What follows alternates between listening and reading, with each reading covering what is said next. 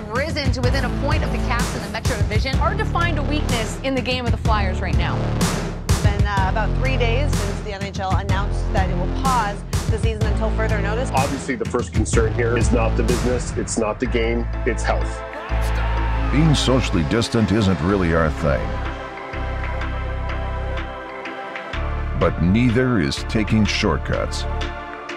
So in the meantime, we've stayed active.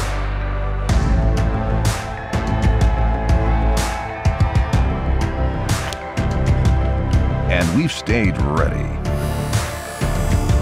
To our city, stay strong and keep lifting each other up.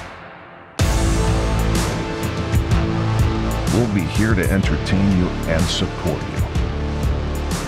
What up, man? I miss you. To our opponents, we've missed you the most, and we can't wait to see you again.